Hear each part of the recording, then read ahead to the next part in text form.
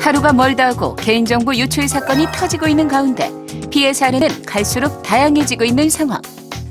금융사에서 대량의 고객 정보가 또 유출됐습니다. 지난 6월 주인도 모르게 통장에서 1억 2천만 원이 인출된 사건이 있었습니다. 정부가 발급해주는 공공 IP니 해킹 공격을 당했습니다. 수법도 갈수록 교묘해져 조금만 방심하면 피해 당하기 일쑤. 문제는 너무나도 쉬운 개인정보 해킹입니다. 대포통장 피해 사례도 급증하고 있는데 20대 피해자를 어렵게 만나볼 수 있었습니다. 인터넷으로 아르바이트 구직 광고를 통해서 알게 됐는데요. 신원 보증을 위해서 체크카드랑 주민등록증을 보내달라고 했는데 체크카드에는 어차피 돈이 없었기 때문에 의심 없이 보냈어요. 오후에 경찰서에서 전화가 왔어요. 사기죄로 출석하라고. 제 통장에 수천만 원이 왔, 들어왔다가 빠진 내역이 있었고 제가 한 게 아니라고 했는데도 아무 소용이 없었어요. 그리고 지금까지 모든 금융거래가 다 막힌 상황이에요. 이젠 정말 획기적인 보안이 절실히 필요한데 영화에서나 봤던 다양한 생체 인식 기술 대부분이 상용화 수준에 올랐다고 합니다. 지문인식은 모든 사람들이 다 알고 계시는 가장 보편적인 지문을 바탕으로 해서 그 보안을 나누고 관리할 수 있는 기준이 되는데요. 홍채 인식이라는 게 또 만들어져서 사람의 안구에 있는 혈관을 바탕으로 해서 인식하는 방법, 보안 강화를 더욱더 서두르고 있습니다. 얼마 전 중국 전자상거래 업체인 알리바바가 얼굴 인식 결제 시스템을 공개했죠.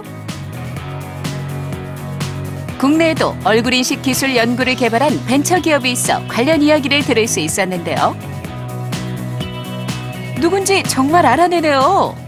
표정이라든가 얼굴의 각도, 조명, 악세사리 여부에 따라서 많은 영향을 받습니다. 그래서 100% 인식하기가 어려운데 그 조건을 극복하는 것이 생체 인식의 가장 핵심적인 이슈라고 할 수가 있습니다. 얼굴을 아이디로 삼고 눈 깜빡임을 자기가 비밀번호를 생성을 해서 얼굴과 비밀번호를 동시에 인식을 해서 향후에는 그 공인 인증을 대체한다거나 아니면은 전자결제 를 대체하는 수단으로서 사업을 추진을 하고 있습니다.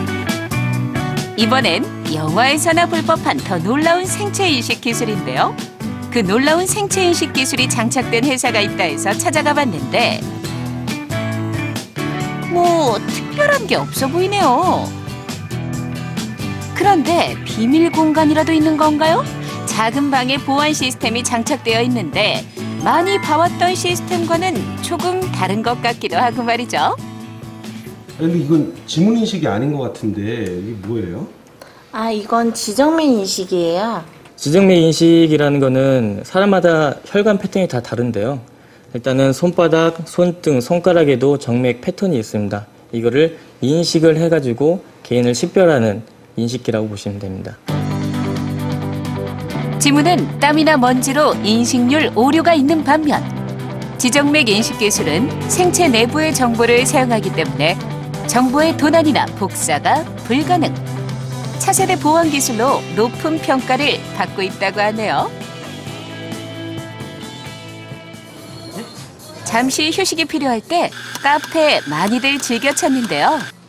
앞으로는 이런 매장에서도 생체 인식으로 계산하고 포인트까지 적립할 수 있게 된다는데 주문하신 커피 나왔습니다. 포인트 적립해드릴까요? 네. 네, 포인트 적립되셨습니다. 맛있게 드세요.